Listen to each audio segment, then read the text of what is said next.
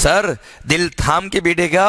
Minimum पाँच mark का chapter तो आता ही आता है। Value of goods under customs किस अमाउंट पे कस्टम लगेगा? अरे वैल्यू ऑफ़ गुड्स पे लगेगा। What do mean what do mean by value transaction value बच्चा।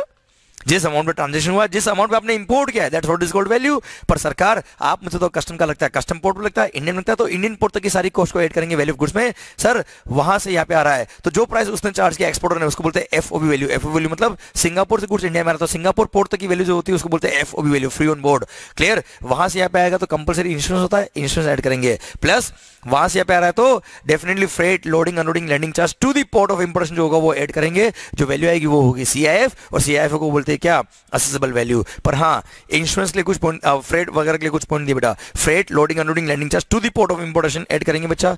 याद रखना, यहाँ पे जो अनलोड किया, उसकी कॉस्ट को ऐड नहीं करते। इंडियन पोर्ट पे जो अनलोड किया उसकी कॉस्ट को ऐड नहीं करेंगे बेटा। पर हाँ वहाँ से यहाँ पे आया उसका फ्रेट वगैरह बेटा। अगर नहीं दे रखा क्वेश्चन है तो ट्वेंटी परसेंट करना बेटा। और अगर दे रखा है तो बाय वेसल या लैंड आया है तो एक्चुअल लेना बेटा। पर अगर नहीं, पर अगर बाय एयर आ रहा है। तो actual twenty percent which is less will be added in the value of the goods पहली बार फ़ायदा दिया बच्चा हमको। और नहीं दे रखा है तो कैसे भी है किसी भी रूट से ट्वेंटी परसेंट एड करने का बच्चा। क्लियर डन सर ध्यान देना बेटा in case of insurance sir अगर नहीं दे रखा तो one point one two five percent of the F और दे रखा तो एक्चुअल लेना, दिमाग लगाना ही मत कि बाय एयर आया बाय वोटर आया, कैसे भी आया बच्चा। बस ध्यान रखना बच्चा, कि अगर कभी आपको F O B plus insurance दे रखा है एफओबी अलग से नहीं दे रखा है। और freight loading unloading landing charge ascertainable ascertainable नहीं है तो ऐसे केस में 20 percent of freight twenty percent of FOB plus insurance ले लेंगे बच्चा हम। क्लियर और सेम वे इंश्योरेंस के लिए अगर इंश्योरेंस नहीं दे रखा, पर आपको FOB plus freight loading unloading landing charge दे रखा है,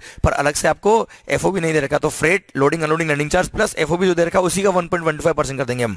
क्लियर प्लस इंडियन पोर्ट पर आ गया गुड्स एक बार। यहाँ से ट्रांसशिपमेंट करके किसी और पोर्ट पे लगे गए बेटा आप। क्लियर या वेस्टर्न एयरक्राफ्ट में रख के किसी और पोर्ट पे एयरपोर्ट पे लगे गए। तो उसकी कॉस्ट को एड नहीं करेंगे। यहाँ से वहाँ लगे उसके फ्रेट को वैल्यू ऐड नहीं करेंगे, यहाँ से वाले को उसका इंश्योरेंस कराया, उसको ऐड नहीं करेंगे मतलब इंडियन पोर्ट पे जो आया फ़र्स्ट टाइम वहाँ तक का कॉस्ट ऐड होता है। किसके लिए? वैल्यूएशन के लिए फ़ायदा ना, बेटा? नुकसान क्या है? डन सरकार, ये था rule number ten compulsory addition option addition सबसे बड़ी बात ऑप्शन एडिशन में packing charge sorry commission pay to the agent हमेशा ऐड करना एक्सेप्ट बाइंग कमीशन अगर आपने पे किया तो उसको ऐड नहीं करेंगे, बाकी सारे कमीशन को ऐड करेंगे। सेकंड आता है क्या?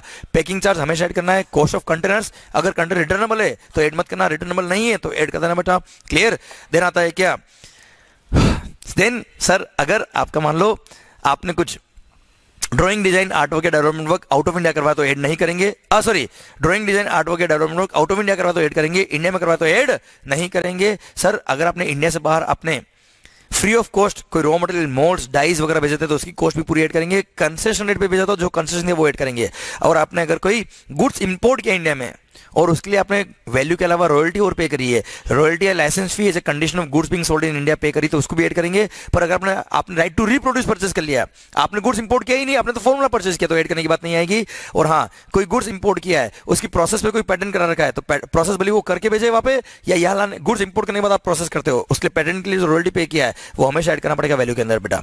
सरकार, आपने मान लो सर उस एक्सपोर्टर को पेमेंट नहीं किया, पर एक्सपोर्ट के बिहार पे किसी और को पेमेंट कर दिया तो वो भी वैल्यू गुड से पार्ट होगा बेटा। और सब्सिक्वेंट सेल प्रोसेस का कोई भी पार्ट आपने पे किया तो वो भी वैल्यू ऑफ़ गुड से पार्ट बन जाएगा। फिर रूल नंबर तीन में एक बात कही थी बेटा क्या, अगर इंपोर्ट करने के बाद कोई खर्च है तो उसको बोलते पोस्ट इंपोर्टेशन एक्टिविटी वो कभी भी वैल्यू गुड से पार्ट नहीं बनता बच्चा। क्लियर एक्सेप्ट रॉयल्टी जो आपने पे किया ना रॉयल्टी लाइसेंस फ़ी वो इंपोर्ट करने के बाद पे करते हो, बस वो वैल्यू गुड से पार्ट बनता, बाकी पोस्ट इंपोर्टेशन एक्टिविटी के कोई भी चार्ज कभी भी वैल्यू गुड से पार्ट नहीं बनेंगे, और इंक्लूड किया हुआ तो उसको एक्सक्लूड करने का बच्चा। और सुनना ध्यान से, सारे जितने भी एडजस्टमेंट है ऑप्शन एडिशन के या जितने भी एडजस्टमेंट है वो सब एफ़ में होंगे रिवाइज एफ़ निकलेगा उसके बाद केवल दो एडजस्टमेंट बचेंगे। कौन कौन से? Freight loading unloading landing charge और इंश्योरेंस वाला पॉइंट बचेगा।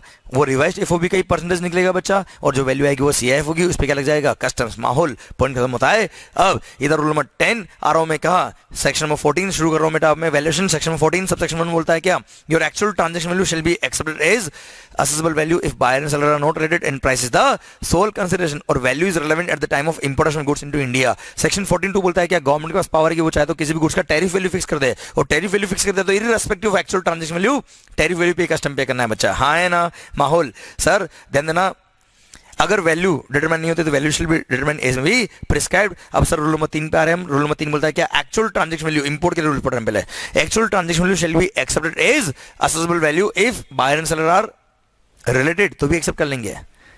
अगर your relationship does not influence the price और अगर बायर और सेलर रिलेटेड नहीं है तो एक्चुअल एक्सेप्ट कर लेंगे। पर ध्यान रखना there should not be any condition और restriction regarding use of the goods clear या फिर there should not be any restriction regarding resale of the goods except area of resale clear and सरकार ध्यान देना आपने यूज़ के लिए कोई रेस्ट्रिक्शन लगा दिया? Except as provided by Indian law बेटा. क्लियर या सब्सिक्वेंट सेल प्रोसेस का कोई पार्ट देना बेटा? एक्चुअल वैल्यू एक्सेप्ट नहीं करेंगे। क्लियर या ऐसी कोई टर्म्स कंडीशन हमने कॉन्ट्रैक्ट में लगा दी जिसकी वजह से प्राइस इफ़ेक्ट होता है तो एक्चुअल एक्सेप्ट नहीं करेंगे, नहीं तो एक्चुअल एक्सेप्ट कर लेंगे बेटा। और हाँ अगर एक्चुअल वैल्यू एक्सेप्टेबल नहीं है तो rule number four two nine shall be followed in sequence three से नहीं है तो फोर फोर से नहीं तो फाइव फाइव से नहीं तो सेवन सेवन से नहीं है तो एट एट से नहीं तो नाइन से तो हो जाएगा। सिक्स क्या कहता है? दो मिनट रुको बेटा। रूल नंबर थ्री से नहीं है तो फोर फोर बोलता है क्या? वैल्यू ऑफ़ आवाज़ नहीं आ रही वे वैल्यू ऑफ़ आइडेंटिकल गुड्स याद है बच्चा आपको? क्लियर जो गुड्स मैंने इंपोर्ट किया उसकी वैल्यू अगर एक्सेप्टेबल नहीं है तो सेम गुड्स आइडेंटिकल गुड्स अगर किसने इंपोर्ट किया तो उसकी वैल्यू हम एक्सेप्ट कर लेंगे। क्लियर और वो नहीं तो goods of like kind and like quality की वैल्यू विल बी एक्सेप्टेड हाँ है ना? क्लियर पहली बात तो आइडेंटिकल गुड्स क्या होता है समझ में आया बच्चा? सिमिलर गुड्स क्या होता है समझ में आपको बेटा? पहले मैं डिफाइन करता हूँ बेटा। Identical goods means the goods which are absolutely alike in appearance in quality in reputation in performance etcetera बेटा। क्लियर पर उसका ड्रॉइंग डिज़ाइन आर्टवर्क इंडिया से सप्लाई नहीं होना चाहिए, भले कंपनी सेम हो या अदर से फ़र्क नहीं पड़ता। Clear similar goods means goods which are not absolutely alike but are capable of performing the same function and are commercially interchangeable whether manufacture by the same manufacture और some other manufacture चलेगा बच्चा। But then ना country of origin should be the same दोनों case में। Clear drawing design artwork India से supply नहीं होना चाहिए। ओके रूल नंबर फोर बोलता है क्या? वैल्यू ऑफ़ आइडेंटिकल गुड्स और हाँ अगर उसमें मोर देन वन ट्रांजेक्शन है, पहली बात तो transaction at same commercial level and same commercial level and substantial same quantity की ट्रांजेक्शन लेंगे बेटा। पर अगर मोर देन ध्यान देना बच्चा transaction at same commercial level and in substantially same quantity की ट्रांजेक्शन लेंगे, पर अगर उसमें मोर देन वन ट्रांजेक्शन है तो जिसकी वैल्यू लोएस्ट होगी वो लेंगे बेटा। पर हाँ सिमिलर सुनना ध्यान से बच्चा। सेम रूल अपना होता है रूल में फोर हो या फाइव हो। और हाँ अगर सेम क्वांटिटी वाले ट्रांजेक्शन नहीं मिलते आपको सिमिलर क्वांटिटी वाले ट्रांजेक्शन नहीं मिलते तो जो भी क्वांटिटी वाला मिल रहा है वो ले ले और reasonable adjustment shall be done and sir timing difference अगर है तो reasonable adjustment shall always be allowed ये रूल नंबर फोर और फाइव खत्म होते हैं। अब फोर था आइडेंटिकल गुड्स फाइव था similar goods rule number seven है क्या? अगर थ्री से आंसर नहीं आ रहा है फोर से नहीं आ रहा फाइव से नहीं आ रहा, पर such goods are sold in India after resale after importation thereof तो जो, जिस प्राइस में मैक्सिमम गुड्स रिसेल होता है इंडिया के अंदर, वो प्राइस में से क्या डोमेस्टिक मार्केट प्राइस ले, और उसमें से डिडक्शन करते हुए कस्टम पोर्ट की वैल्यू पे आ जाए जो वैल्यू आएगा वो क्या होगा? Value on the basis of जिस पे क्या लग जाएगा? कस्टम पर देना। जो डिडक्शन करोगे, सबसे पहले टैक्स लेस करोगे डोमेस्टिक मार्केट का फिर सारे खर्चे लेस करोगे, फिर इंडियन मार्केट में लाने के बाद इंडियन मार्केट में लाया हो तो कस्टम भी लगा होगा उसमें। तो कस्टम भी लेस करना बच्चा उसका। जो वैल्यू आएगा that will be the custom का amount that will be the value of the goods बच्चा पर उससे भी वैल्यू नहीं आ रहा तो एड बोलता है क्या? कैलकुलेशन मेथड कैलकुलेशन मेथड बोलता है क्या? सारी कॉस्ट को एड उस एक्सपोर्ट को बोलो अपनी कॉस्ट ब्रेकर भेजेगा। Along with supporting plus profit margin plus rule number ten के सारे एडिशन जो वैल्यू आएगी वो क्या होगी? कंप्यूटर वैल्यू कैलकुलेशन मेथड से वैल्यू जो आएगी उस पर लगेगा कस्टम बेटा रूल नंबर एट से भी आंसर नहीं आता रूल नंबर नाइन बोलता है क्या? बेस्ट जजमेंट क्लियर सरकार रूल नंबर नाइन के बाद क्या है टेन हमने पढ़ लिया बेटा। रूल नंबर इलेवन बोलता है क्या? इंपोर्टर अपनी वैल्यू को हमेशा क्या करेगा? डिक्लेयर करेगा शिपिंग बिल में या बिल ऑफ़ एंट्री के अंदर बच्चा? क्लियर और इंपोर्ट की बात करते तो बिल ऑफ़ एंट्री के अंदर बेटा। और रूल नंबर ट्वेल्व बोलता है क्या? ऑफिसर के पास पावर की वो चाहे तो वैल्यू क्या करते हैं? Reject but only after giving opportunity being heard okay माहौल. सरकार इंपोर्ट के वैल्यूशन रूल्स खत्म होते हैं। अब एक्सपोर्ट के वैल्यूशन रूल्स सेम रूल्स बच्चा. क्लियर रूल नंबर तीन बोलता है क्या? Actual transaction will be accepted अगर buyer and seller are not related in price is the sole consideration और अगर बायर सेलर रिलेटेड भी है तो relationship does not influence the price तो हम एक्चुअल ले लेंगे बेटा। सेकंड बता दी क्या? पर उससे वैल्यू नहीं आता तो goods of like and like quality value ले लेंगे। देना सर क्वांटिटी में डिफरेंस है।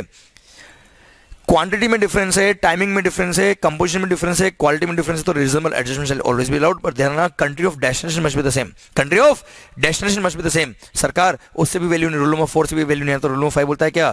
कॉस्ट ब्रेकअप दो अपना. कैलकुलेशन मेथड कैलकुलेशन मेथड क्या बोलता है?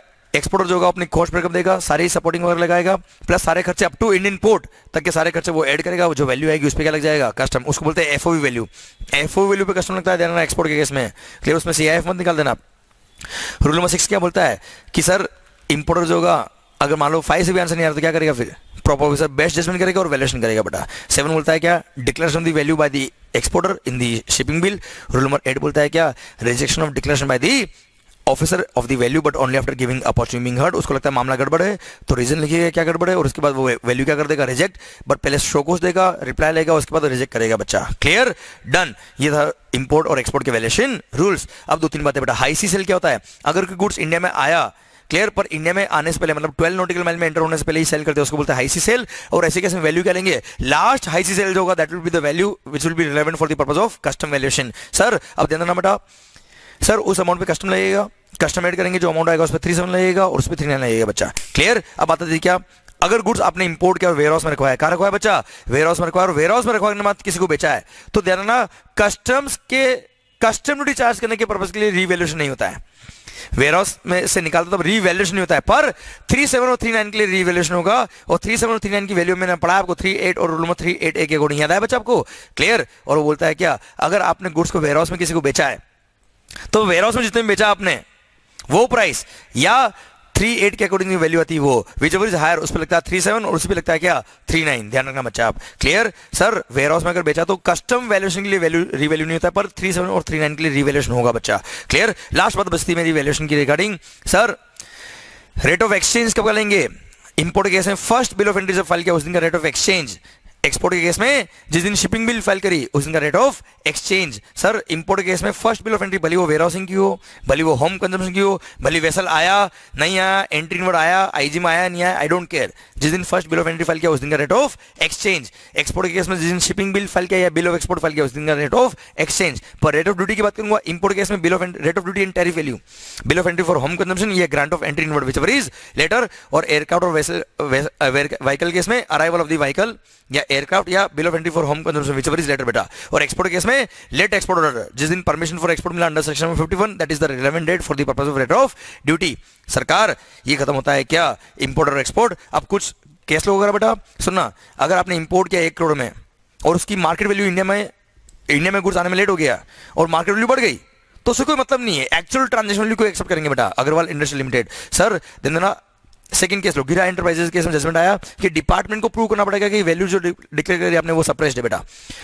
वो अगर डॉक्यूमेंट्री एविडेंस लेके नहीं आ पाया, वो केवल एक किसी वेबसाइट के प्रिंट आउट वगैरह लेके आ गया तो that is not the documentary evidence जिसकी वजह से आप प्रूव कर रहे हो कि वैल्यू सप्रेस थी बेटा। डिपार्टमेंट को प्रूव करना पड़ेगा वैल्यू सप्रेस थी, वो प्रूव नहीं कर पाया तो ऐसे केस में उसको हम एक्सेप्ट नहीं करेंगे एक्चुअल वैल्यू को एक्सेप्ट कर लेंगे जो असिस्टेंट डिक्लेयर करी बच्चा।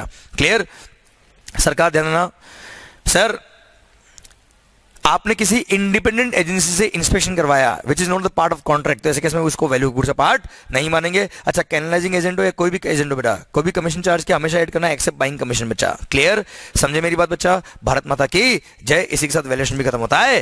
अब चैप्टर नंबर ट्वेंटी नाइन खत्म होता है। अब